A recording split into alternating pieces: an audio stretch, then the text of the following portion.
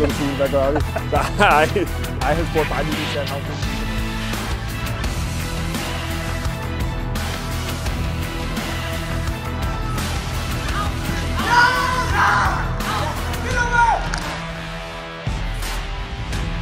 Oliver Jeppe, 18 år, defensiv midtbane og anfører på Brøndby 19. Okay, jeg prøver lige en gang til.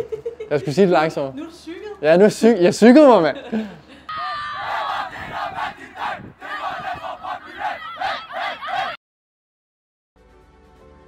Jeg er en meget ny forsvarsspiller.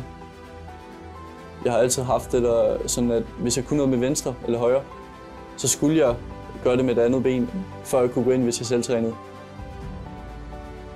Så jeg kunne stå ude i flere timer, før, at, det, før at det, det lykkedes. Jeg er meget offensiv, og jeg har jo altid trænet overblik. Jeg tør at tage nogle chancer, og jeg tør at lægge nogle afleveringer. Fordi jeg ved, jeg kan. Men på det på andet, så kan jeg godt lide det der med, ja, smadre nogle folk.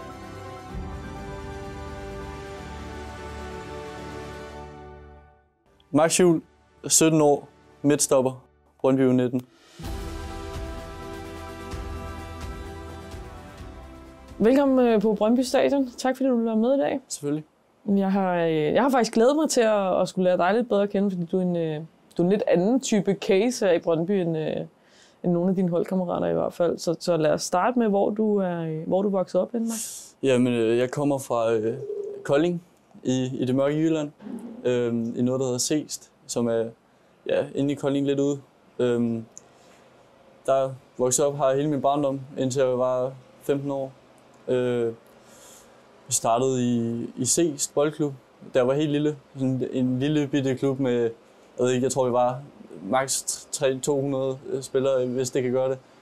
Øhm, der spillede jeg et par år, hvor jeg så tog et, øh, et, et skifte til Kolding IF, som øh, jeg spillede i 4-5 år.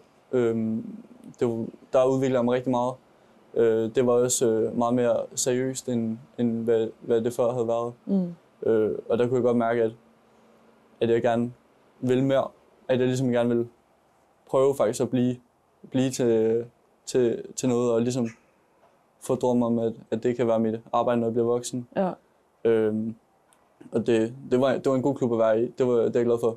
Øhm, jeg var også meget glad for, at det ikke var en Superliga-klub, men at det, det stadig kunne være lidt hyggeligt, fordi jeg, stadig, jeg var jo stadig ung, så der stadig var lidt, øh, lidt space øh, til træning, og man stadig lige kunne få en lille smule skal ud af trænerne, når det blev øh, lidt useriøst, men der samtidig var, øh, var, var seriøsitet og, og styr på det.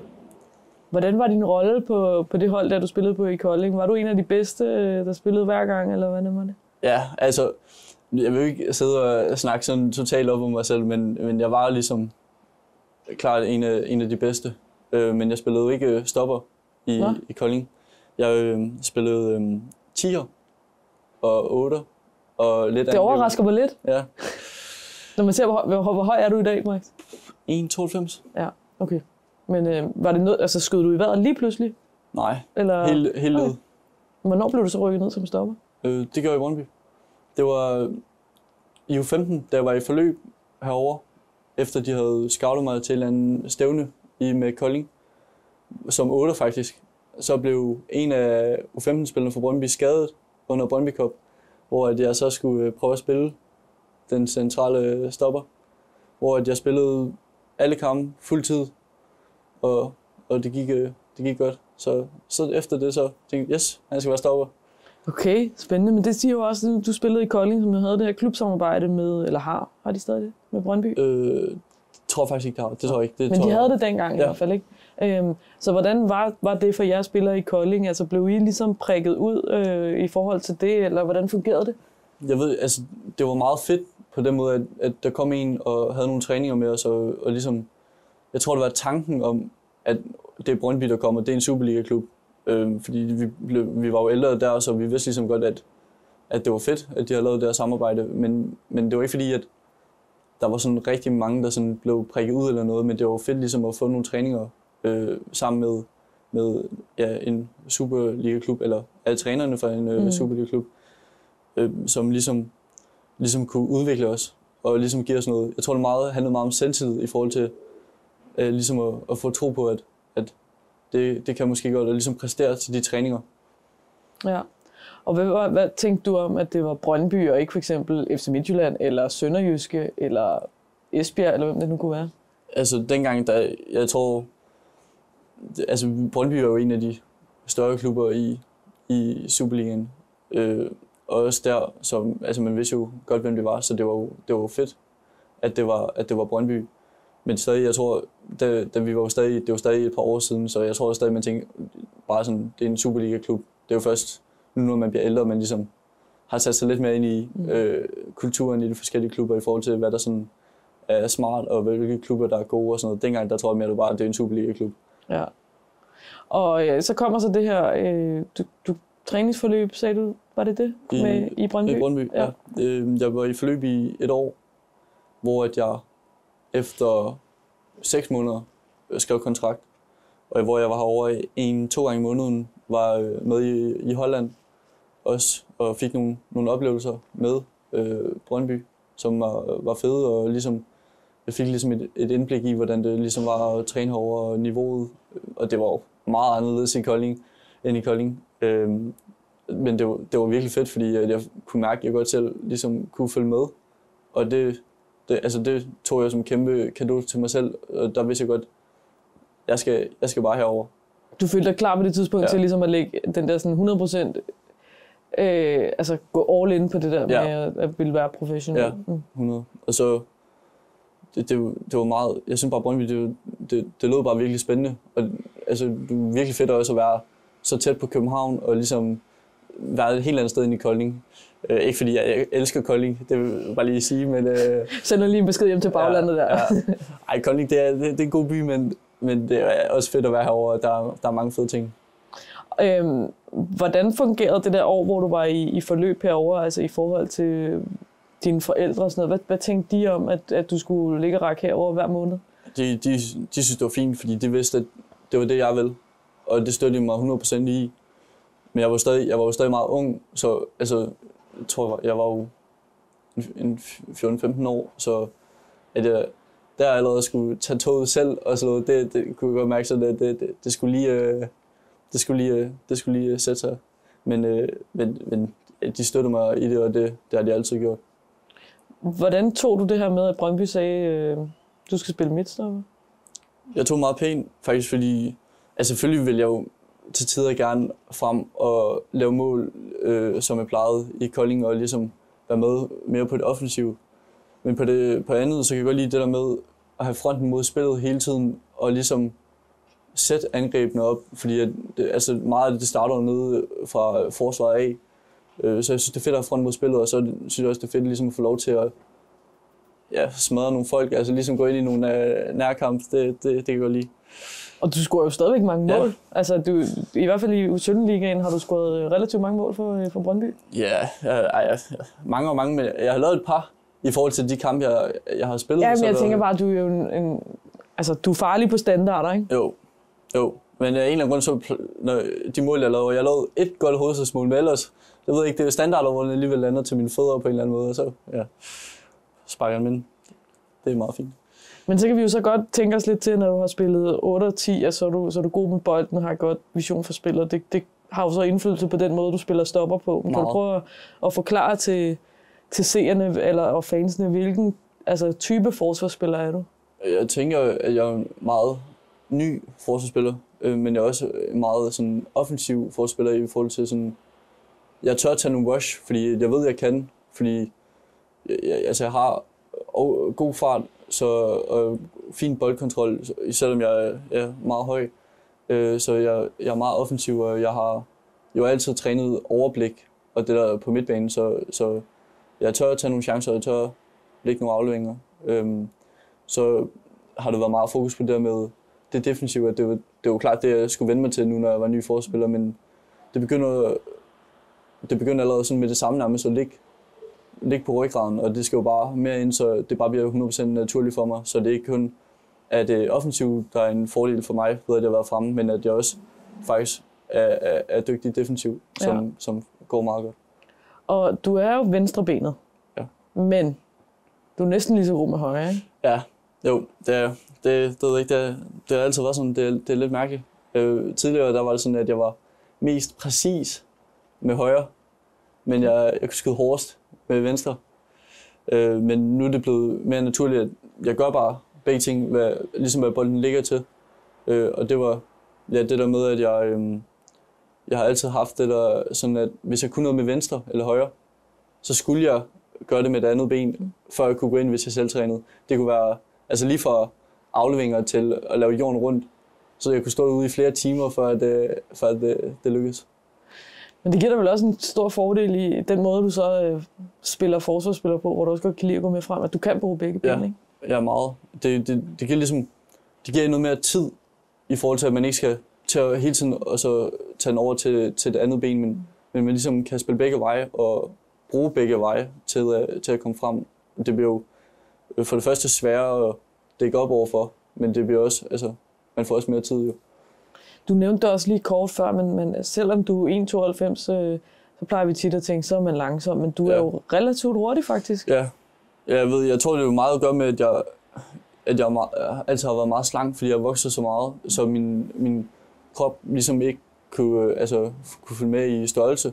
Øh, men sådan positivt, så har det givet mig øh, meget fart, så jeg nu, øh, hvor jeg ikke vokser så meget mere, ligesom kan bygge muskler på, så jeg stadig kan holde farten, i stedet for at jeg havde ligesom bare taget meget på og, og blevet langsom, når jeg så gjorde Ja. det til muskler, men at jeg nu kan stadig holde farten. Ja. Det var noget af det, der overraskede mig mest første gang, jeg så Ja. ja. spille. Det var, gud, han er, han er virkelig hurtig.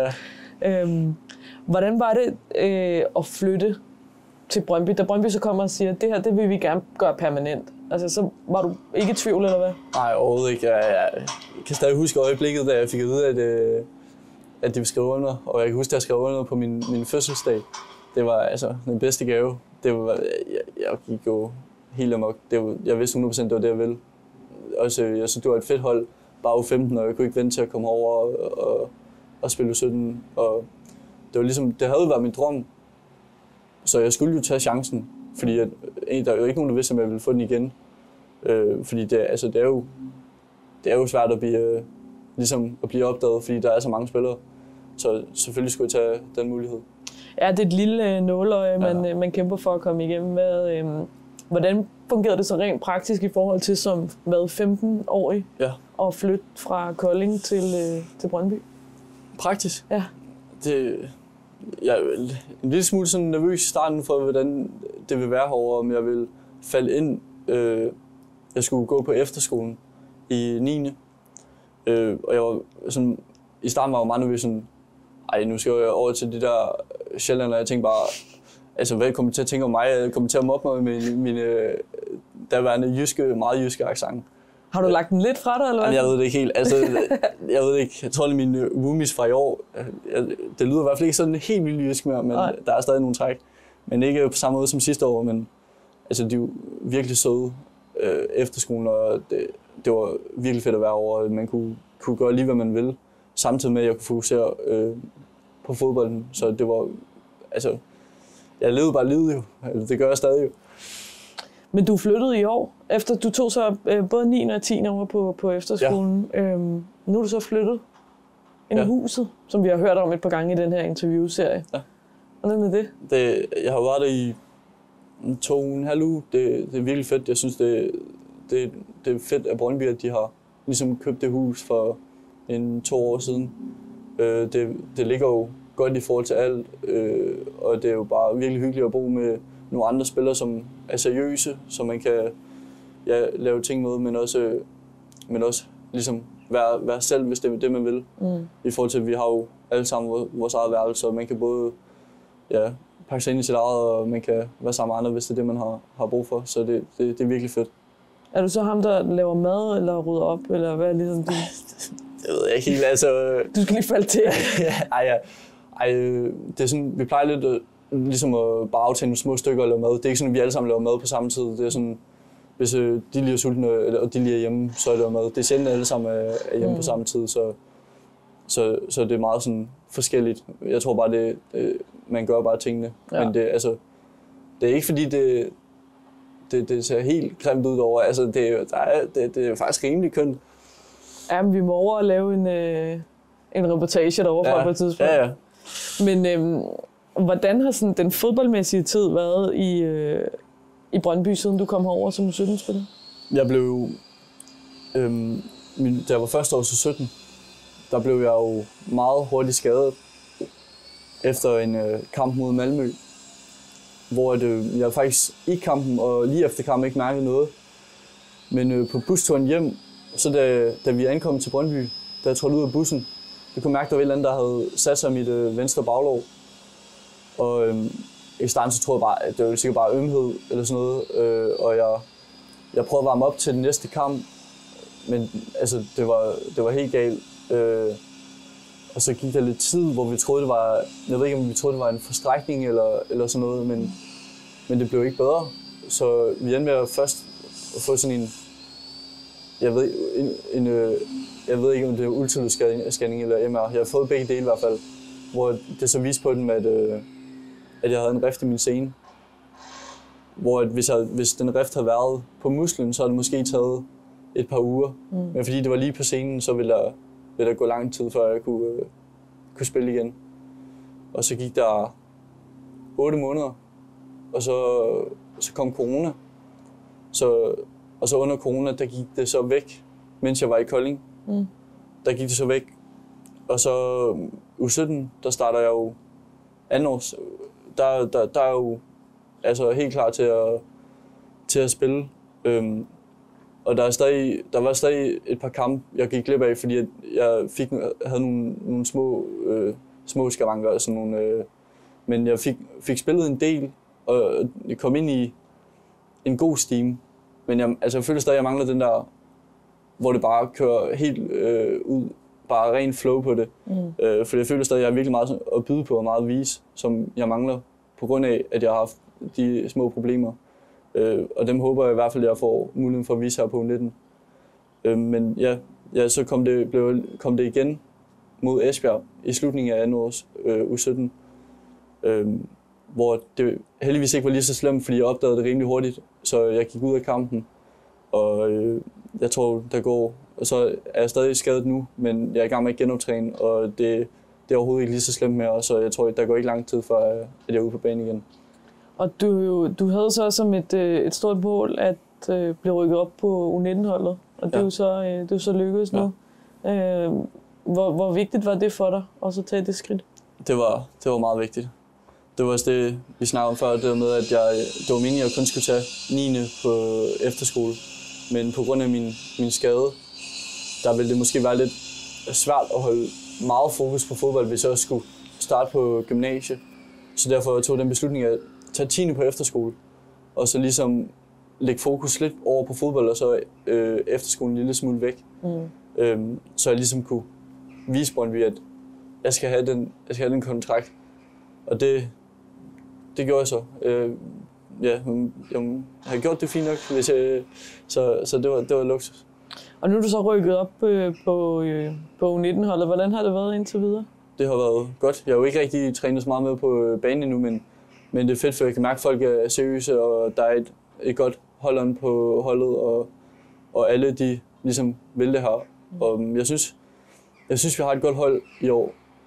Det, det, det er meget vigtigt, fordi at vi har rigtig mange gode individuelle spillere øh, generelt, men det er også vigtigt, at vi kan ligesom spille som et hold, og det, det tror jeg virkelig på, at vi kan i år. Så jeg håber og tror virkelig på, at det kommer til at se godt ud, når vi skal spille, spille liga. Ja. Hvor, hvad gør du der forhåbninger i forhold til din egen rolle på holdet? Jeg tænker bare, at jeg tager et skridt ad gangen. Ad gangen. Jeg tænker bare, øh, til at starte med, der kan godt være lidt svært i forhold til, at jeg har været skadet, men jeg tænker bare, at jeg skal ind til træning og så bare vise, det er, det, det er ligesom det, jeg kan. Og så, øh, så må, vi, må vi se, hvad det rækker. Men jeg, men jeg føler i hvert fald selv, at, at, at jeg har gode muligheder. Så det, det må jeg jo bare gå ud og vise. Det er jo, det er jo ikke noget, der er træneren eller nogen. Det er 100% mig, der skal Mm. vise det. Og hvor, altså, øh, hvordan er det at være spiller i, øh, i Brøndby Masterclass nu på U19-holdet? Øhm, med den strategi, der er herude nu, hvor der er mange unge spillere, som bliver indlemmet i Superliga-truppen. det, det er virkelig fedt, fordi det skaber, altså, det er jo virkelig gode muligheder, og det, det giver igen, altså, os selv, vi skal bare selv gribe chancen, altså. Øh, fordi Brøndby, de vil gerne, som du sagde, bruge, bruge de unge, og så er det jo bare fedt, at, at der er så meget fokus på det, også i forhold til træning og den måde, man spiller på i Brøndby, og, og ja, de træner og de, der er omkring holdene, det, det, det giver også bare en ligesom et boost til ligesom at, at kunne gå hele vejen, og ligesom vise, at man skal have pladsen. Og du er, du er blevet ret godt integreret herover også, ikke? Altså, Jo. I forhold til at have været med også i fanmarsch og sådan noget, ikke? Ja, ja. ja. Ja, altså, det var, det var noget af en oplevelse. Det er nok noget af det, det fedeste, jeg har prøvet indtil, ja, indtil den sidste kamp. Det var, det, var, det var noget af en oplevelse. Det er også bare fedt. Den fankultur, der er i Brøndby, den er jo, den er jo helt speciel i forhold til andre danske klubber, og også mange i udlandet jo. Det, altså, det er helt fantastisk, den måde, de støtter holdet på, og jeg synes, det er fedt. Den måde, altså, da jeg var lille, der tænkte man jo ikke så meget over det, men, men det der med, at det er, altså det er de samme fans, der kommer til hver eneste kamp. Det er jo, det er jo det er sjældent, man, man, man ser det, men den måde, de støtter klubben, og ja, ligesom klubben også viser ting over for dem, det, det er bare ligesom, det, det er fedt. Så du er blevet Brøndby-fan nu. Ja, det, det må man sige.